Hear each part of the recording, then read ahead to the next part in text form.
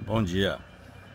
Essa noite uma ventania fez eu lembrar, fez eu lembrar de quando a gente dormiu na, na Patagônia. Parecia que a barraca ia sair voando. É, e era mó treta, meu, porque a gente ficava tentando amarrar essa parte do avanço na escada, dormir invertido para fazer peso na escada, para a escada travar o, tentar travar o avanço, né? Tudo isso porque a gente não sabia que essa trava aqui, ó, que trava o avanço, deixava tudo muito fixo, a gente não sabia onde encaixava esse negócio aqui. Era tenso quando ventava. Né? Agora você vê, ventou bastante essa noite. Mas a trava aqui ficou ó, firme e forte no lugar. Agora você quer ver uma coisa que é engraçada. A noite passada eu dormi no Sesc, né? E eu dormi mal na cama, né? Porque acho que eu já tô, sei lá, acostumado, porque aqui na barraca é o meu colchão, é o meu travesseiro, é o meu edredom. É... eu durmo muito melhor, muito melhor na barraca do que numa cama. Ontem quando eu cheguei aqui que eu resolvi parar nesse posto aqui, o posto tem tem um esquema de pousada, não sei se eu vou conseguir mostrar. Tá vendo, ó, ali é pousada.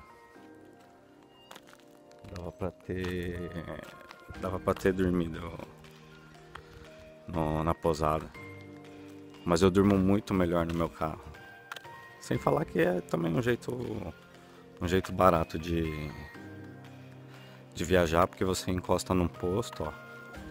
Um posto 24 horas que tem segurança. É a minha barraca aqui.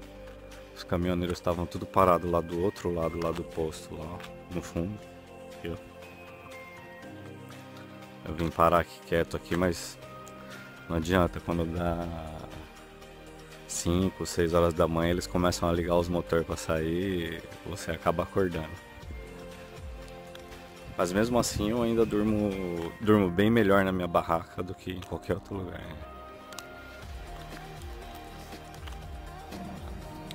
Eu vou eu vou ter que editar um vídeo ainda antes de sair daqui para poder baixar baixar o que eu já tenho no, baixar o que eu já tenho no telefone mas eu vou aproveitar para mostrar para vocês as fotos dos lugares que eu dormi que o Carlos Eduardo mandou para mim. Porque quando eu paro para dormir, o sensor dele ativa lá e, e ele dá um print da, da tela.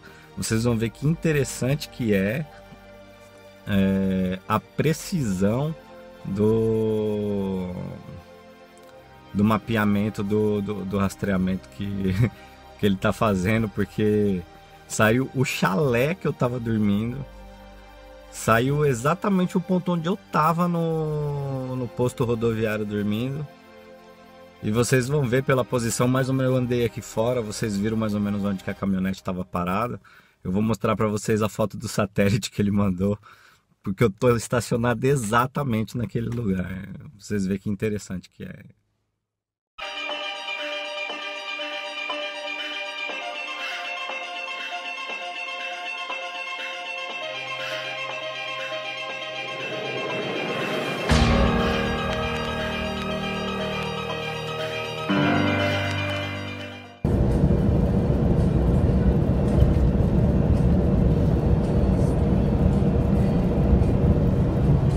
Esse é o medidor de pressão é, dos pneus, dos pneus, pneus.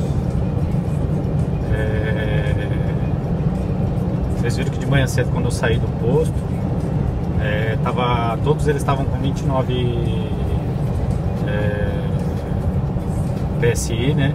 Ou libras, não sei. E a temperatura estava mais baixa. Quando você começa a rodar, o pneu começa a esquentar a pressão do, do pneu começa a subir, né? E é rápido, viu? Você roda só um, um pouco que você roda aí, uns 5 minutos já você já tem pelo menos uma, um PSI a mais no, de pressão no pneu. Por isso que tem que calibrar frio o, o pneu.